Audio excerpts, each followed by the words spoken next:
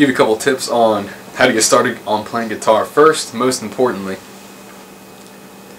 let's plug it, let's plug it in.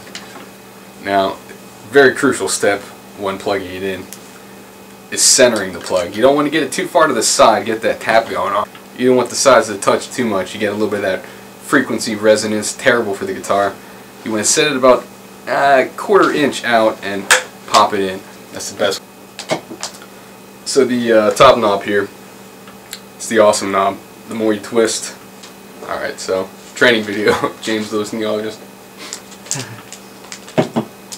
Uh, yeah, so the knob, the more you twist the better it gets. Obviously, right to left, it's the best way you want to go. I usually keep it cranked.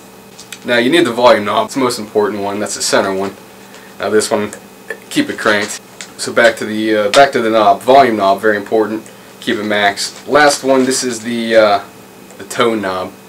You want to keep it always high. Unless you're playing the solos, keep it warm by uh, going to the left. Very important as well.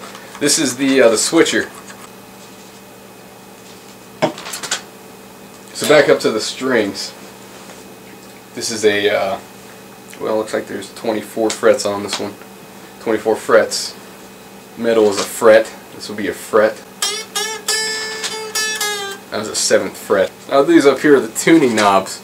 You gotta make sure you keep these tight. You don't want this uh, bad boy going out of tune, but when it does, that's where you got the uh, to make everything better knobs back here. You just twist those. You know, a little sharp, you gotta twist it. A little flat, you gotta twist it. And uh, that's about all about that. That's all I gotta say about that.